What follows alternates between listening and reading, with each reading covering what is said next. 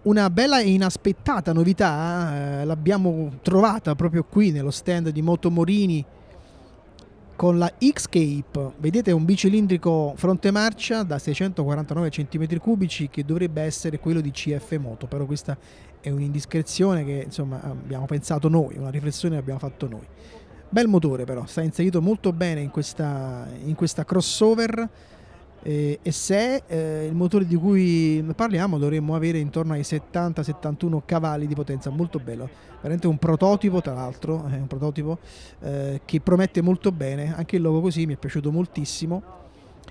una carina che forse ricorda qualcosa che già visto in giro, però per il resto devo dire che la moto è abbastanza originale, avete visto anche il disegno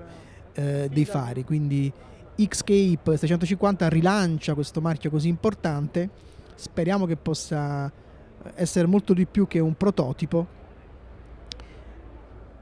è una proposta interessante per questo segmento. Eh, tra l'altro abbiamo sentito che il prezzo non dovrebbe superare gli 8.000 euro quindi veramente sarebbe un,